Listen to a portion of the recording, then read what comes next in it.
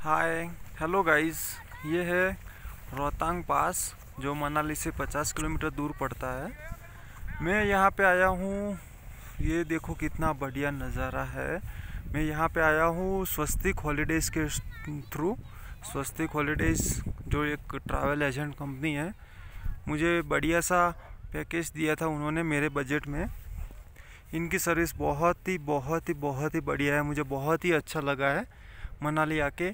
तो गाइस मैं आप लोगों को भी यही एडवाइस देता हूँ कि अगर आप लोग मनाली आना चाहते हो, रोहतांग पास घूमना चाहते हो तो प्लीज़ स्वस्तिक हॉलीडेज़ का कांटेक्ट कीजिए। उनकी वेबसाइट ऑनलाइन अवेलेबल है।